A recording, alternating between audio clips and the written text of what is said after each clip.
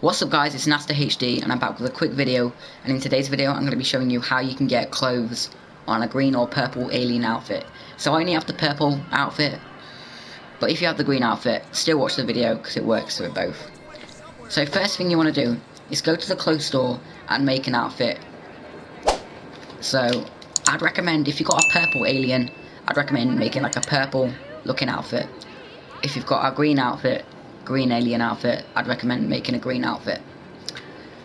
So, you will need an alien. Either colour. I just prefer purple. Uh, rather than bogey green. No offence. But yeah. So this is my outfit I made. As you can see, it looks really nice. You only, you do only get the head, which is a bit of a downside. But there may be glitches on how to like keep most of the body if you don't have a top on or anything. But I'm just showing you this the head most people will probably know about this, it's just for people that don't know. I'm just trying to help some people out. So, this is the outfit I made after everything, and it looks really cool. So I don't actually have another purple outfit that I've created, so for the sake of the video, I'm just going to use this. So I've named this Robber. Alright, so I'm going to go back to the purple alien outfit. So you want to have this equipped, and you want to run up to the telescope, spam on the D-pad. You will have to go down to the beach for this. You can use your apartment, I think it's a bit different. I think you have to start up a job if I remember doing it back on PS3 to glitch something on my head or something.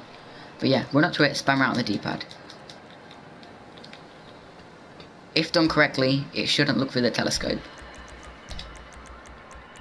And then just equip the outfit that you want. Now equips it, walk away, and you'll have the alien mask. if it does look through the telescope, just back out, exit, and just, just run over and do it again. And then from here, once you've got the alien mask or head on or whatever, go over to your local clothes store, mask store, and you can go ahead and save the outfit. But once you do have the um, alien mask on, you can't, you can put stuff on your outfit, but it'll just get rid of the alien head or mask. I'm just going to call it a mask. So yeah, if you do equip anything, it will get rid of the mask. So I'd recommend putting your upgrades on your character before you do the glitch. And another disclaimer, you cannot um, do this glitch when you have a duffel bag. So if you have a duffel bag on any outfits, unfortunately you can't do this. Um, you'll be able to put the mask on the character, but you can't save the outfit.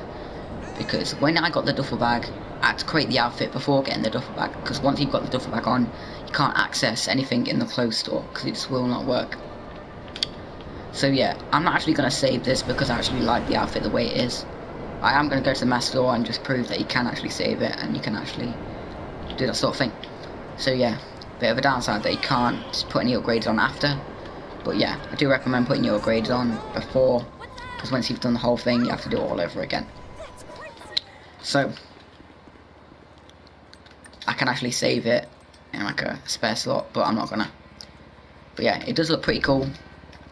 And if you do make a nice outfit, it can look like this. I don't have the green version, prefer purple.